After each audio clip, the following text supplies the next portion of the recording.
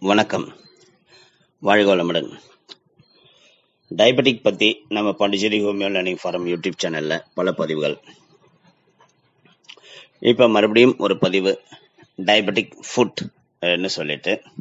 ஏன் என்ன இந்த டயபெட்டிக் ஃபுட்ங்கிறது பாத பராமரிப்பு. பொதுவாக டயபெட்டிக்னாலே அவங்க வாழ்வியலில் சரியான வாழ்வியலை கடைப்பிடிக்காதவங்களுக்கு தான் டயபெட்டிக் அதுலேயும் சுத்தம் பர்சனல் ஹைஜீன் இல்லாதவங்க கண்டிப்பாக டயபெட்டிக் பீப்புள் இந்த டயபெட்டிக் ஃபுட்ங்கிறது கண்டிப்பாக பர்சனல் ஹைஜீன்னா என்னன்னே தெரியலங்கிறவங்களுக்கு தான் இந்த டயபெட்டிக் ஃபுட் பாதிக்குது.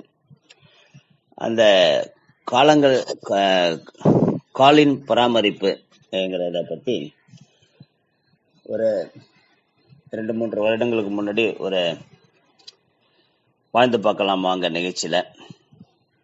ஐ திங்க் விவி ஃபோர்னு நினைக்கிறேன்.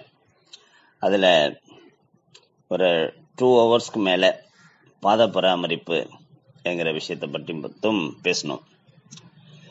ஏன்னா பாத்ரூமில் நம்ம மூஞ்சிக்கு இம்பார்ட்டன்ஸ் கொடுத்து உடம்புக்கு இம்பார்ட்டன்ஸ் கொடுக்குற அளவுக்கு கீழே குனிஞ்சு கால் விரல்களுக்கும் கால் பாதங்களுக்கும் நம்ம கண்டிப்பாக அதுக்கான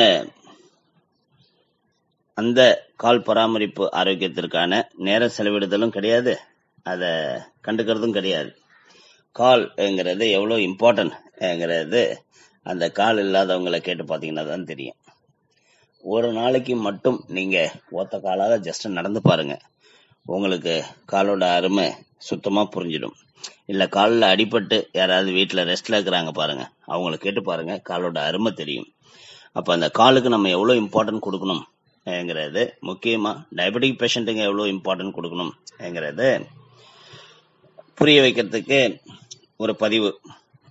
அதனால தான் இந்த பதிவு ஏன்னா நான் இப்போ சந்திச்ச சில டயபெட்டிக் பீப்புள் காலில் காயங்களோட காலில் சின்ன சின்ன புண்களோட அதை பற்றின சீரியஸ் விஷயங்களே புரிஞ்சுக்காம ரொம்ப கேஷுவலாக இருக்கிறாங்க.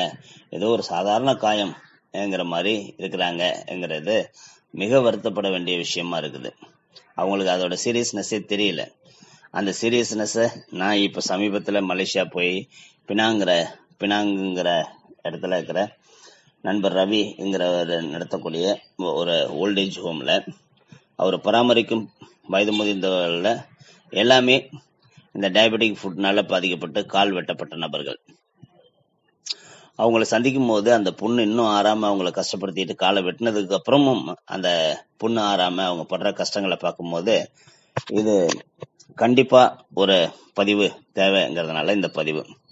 சரி ஒவ்வொரு மனிதனும் தனது கால்களால் தினமும் எட்டாயிரம் முதல் பத்தாயிரம் அடி வரை எடுத்து வைக்கிறான். அந்த அடிப்படையில் கணக்கு பார்த்தால் அந்த மனிதன் தன் வாழ்நாள் முழுவதும் காலடி எடுத்து வைப்பது நாலு முறை பூமியை சுற்றி வருவதற்கு சமம். உடலில் உள்ள முக்கிய உறுப்புகள் நம்ம ஹார்ட்டுக்கு கொடுக்குற இம்பார்ட்டன்ஸ் மற்ற கிட்னிக்கு கொடுக்குற இம்பார்ட்டன்ஸ் கொடுக்காத கால்களுக்கும் அந்த அளவுக்கு இம்பார்ட்டன்ஸ் கொடுக்கணும்னு சொல்றாங்க. மற்றவர்களை விட நீரிழிவு நோயாளிகள் தங்கள் கால்களை மிகுந்த கவனத்துடன் பார்த்து கொள்ள வேண்டும். ரத்தத்தில் சர்க்கரையின் அளவை கட்டுப்பாட்டில் வைத்திருக்க வேண்டும். இல்லாவிட்டால் காலுக்கு செல்லும் இரத்த குழாய்களில் அடைப்பு ஏற்படும். பின்னர் அந்த இரத்த குழாய்கள் சுருங்கி கால் அழுகும் நிலை ஏற்படும். அவ்வாறு அழுகிவிட்டால் வேற வழியே கிடையாது. ஆம்படிஷன் பண்ண வேண்டியதுதான் காலை வெட்டி அடிக்க வேண்டியதுதான் அங்கிற சூழ்நிலை உருவாகிடும். உலகில் ஆண்டுக்கு கிட்டத்தட்ட இருபது லட்சம் த்துக்கும் மேல இருபது இருபத்தஞ்சு லட்சம் பீப்புளுக்கு காலை கட் பண்றாங்க அதாவது ஆம்படிஷன் பண்றாங்க காலை வெட்டி எடுக்கிறாங்க. அரை நிமிஷத்துக்கு ஒரு நீரிழிவு நோயாளியின் கால் வெட்டி அடிக்கப்படுகிறது என்று ஒரு ரிசர்ச்ல சொல்றாங்க. அந்த அளவுக்கு நீரிழிவு நோயால் டயபெட்டிக் பீப்புளுக்கு காலில் ஏற்படும் பாதிப்பு அதிகரித்துள்ளது. சாலை விபத்துக்கு அடுத்தபடியாக கால்கள் இழக்கும் நபர்கள்னு பார்த்தா அது டயபெட்டிக் பீப்புள் தான். நீரிழிவு நோயாளியின் காலில் உள்ள இரத்த குழாய்களில் பாதிப்பு ஏற்படும் போது வெளிநோயாளியாக சிகிச்சை பெற்றால் அந்த செலவு பார்த்தீங்கன்னா அதே உள்நோயாளியாக இன்பேஷண்டா சிகிச்சை பெற வேண்டிய நிலை ஏற்பட்டால் எவ்வளவு செலவாகுது? பார்த்தீங்கன்னா ரொம்ப அதிகமா இருக்கும் இதோட டிஃபரன்ஸ் அதனால வருமுன் காப்பதுங்கிறது தான் உத்தமம். நீரிழிவு நோயாளிகளின் ஏழைகள் தங்களது ஆண்டு வருமானத்தில் கிட்டத்தட்ட இருபத்தஞ்சு சதவீதத்தை அவங்களோட கால்கள் ஏற்படக்கூடிய பாதிப்புக்காக மட்டும் செலவு பண்றாங்க. அதாவது ஒரு டயபெட்டிக் பேஷண்ட்டு ஒரு வருஷத்துக்கு அவரோட டயபெட்டிக்காக ஒரு பத்தாயிரம் ரூபாய் செலவு பண்றாருன்னு வச்சுக்கோ. அந்த பத்தாயிரம் ரூபாயில கிட்டத்தட்ட ரெண்டாயிரத்தி ஐநூறு ரூபா அவரோட ஃபுட் மேனேஜ்மெண்ட் அதாவது காலில் வந்த பிரச்சனையை சரி பண்றதுக்காக செலவு பண்றாங்க. அப்ப எந்த அளவு தாக்கத்தை அந்த கால் பராமரிப்புக்கு இந்த டயபெட்டிக்ங்கிறது ஏற்படுத்துங்கிறத நம்ம புரிஞ்சுக்கணும். நீரிழிவு நோயால் அதாவது டயபெட்டிக் பேஷண்ட் தங்களின் கால்களில் வலி குடைச்சல் ஏற்பட்டால் உடனே ஒரு செக்கப்புக்கு போய் காலில் என்ன பிரச்சனைங்கிறத பார்த்து சரி பண்ணிக்கிறது. ங்கிறது ரொம்ப நல்லது. ஏன்னா சுய மருத்துவம் பண்றேன். இல்லை அது சும்மா கால் வலிக்குது என்ன சொல்லி விடாம ரத்த ஓட்டத்தில் ஏற்படக்கூடிய சிறு சிறு பிரச்சனைகள் காலில் கருப்பு நிறத்தை தொட்டு வைத்து காலில் இருக்கிற செல்களுக்கு முழுமையான ரத்தம் கிடைக்காம செல்கள் அழுகும் தன்மையை உருவாக்கி விடுகிறது நீரிழிவு நோயாளிகள் காலில் ஏற்படும் பாதிப்புகள் குறித்து படிக்காதவங்கள்ட்ட மட்டும் இல்ல படிச்சவங்கள்ட்டே விழிப்புணர்வு ரொம்ப கம்மியா தான் இருக்குது. இதனால் இதனால நெகை கட் பண்ணும்போது கூட ரொம்ப கவனமா கட் பண்ணணும். காயங்கள் ஏற்படாம கட் பண்ணணும்.